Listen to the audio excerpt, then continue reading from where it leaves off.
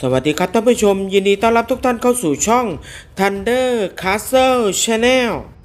เปิดกฎใหม่ไทยลีก หลังเตรียมตัวกลับมาลงสนามอีกครั้ง โดยทางไทยลีกนะครับได้มีการจัดประชุมกับสโมสรสมาชิก เพื่อแจ้งเรื่องมาตรการให้แต่ละทีมได้รับทราบ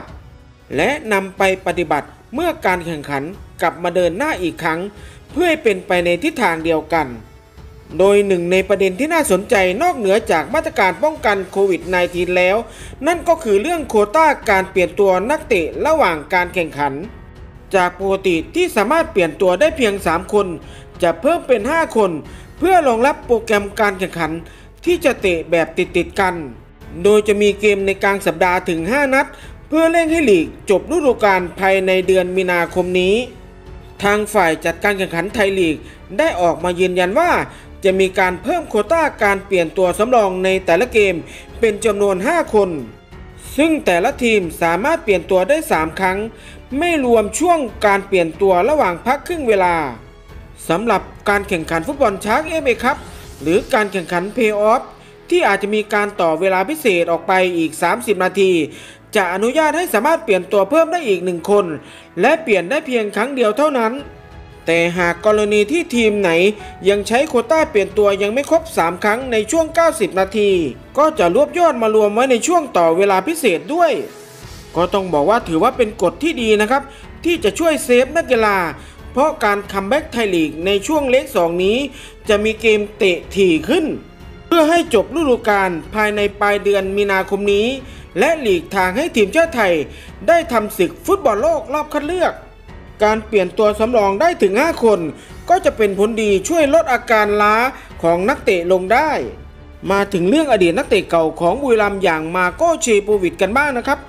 เมื่อเจ้าตัวได้ซัดประตูชัยพาโอโมเนียนิโคเซียคว้าชัยนั่งจ่าฝูงลีกไซปรัสอดีตศูนย์หน้าของบุรีรัมย์ยูไนเต็ด ใช้เวลาไม่นานในการปลดล็อกประตูแรกกับต้นสังกัดใหม่อย่างอาร์โมเนียนิโคเซีย ทีมจากลีกสูงสุดของไซปรัสในนัดล่าสุด มาร์โก้ เชโปวิชอดีตกองหน้าของบุรีรัมย์ยูไนเต็ดเบิกสกอร์แรกกับต้นสังกัดใหม่เป็นที่เรียบร้อย หลังซัดประตูชัย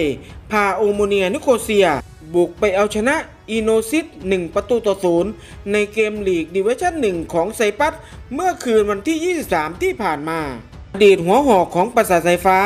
เคยลงเล่นเป็นสำรองมาแล้ว1นัด ก่อนล่าสุดมีชื่อเป็น 11 คนแรก และก็ไม่ทำให้ทีมผิดหวัง เมื่อกดประตูชัยในช่วงท้ายเกมในนาทีที่ 80 พาโอโมเนียนิโคเซีย คว้าชัยชนะสำเร็จ พร้อมขยับขึ้นเป็นจ่าฝูงชั่วคราว สำหรับมาร์โก้ เชโปวิชนะครับ ลงสนามให้โอโมเนียนิโคเซียไปแล้ว 2 เกม ยิงไป 1 ประตู โปรแกรมต่อไปมีคิวช่วยทีมเปิดบ้านพบกับโอลิมเปียกอสนิโคเซีย ในวันที่ 29 มกราคมนี้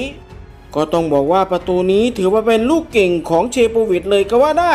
เพราะเจ้าตัวเคยโหม่งเข้าในลักษณะนี้ สมัยค้าแข้งอยู่กับบุรีรัมย์ยูไนเต็ดมาแล้ว